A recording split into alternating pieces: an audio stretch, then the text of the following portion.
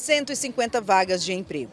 Essa é a quantidade oferecida no primeiro dia do Cine Móvel. Isso é um trabalho que a SEDEC está desenvolvendo, um projeto. Esse é o primeiro projeto realizado e nós iremos estender para outros bairros, outras regiões de Goiânia. E esse apoio dos empresários e comerciantes é muito importante. Nós estamos trabalhando juntos com toda a população, com todos os empresários, com todo o secretariado, todos os servidores, para essa retomada da economia. É trazer emprego e renda mais próximo do cidadão goianiense. Então esse projeto vem para contemplar essa questão.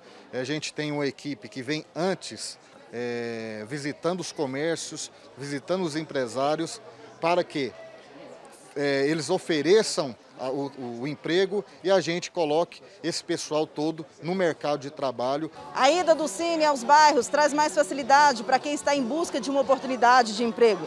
Assim, a população não precisa ir até a sede do órgão que fica no centro da capital. A população vai ficar sabendo de acordo com a própria imprensa que a gente vai divulgar e também no site da Prefeitura de Goiânia. As pessoas interessadas em uma oportunidade de trabalho contarão com a ajuda de servidores que auxiliarão também o manuseio da carteira de trabalho digital. Temos aqui envolvido o pessoal do Ministério do Trabalho que nos cederam aí na pessoa do Dr. Tiago Ranieri, computadores, laptops, para nos ajudar nessa inscrições, nessas inscrições, nesse trabalho, que é um trabalho que nós é móvel, nós iremos levar em vários lugares da região de Goiânia. E temos a parceria também com o Instituto Mix, enfim, vários institutos, várias pessoas estão em parceria com a Prefeitura de Goiânia, ajudando a volta da retomada da economia.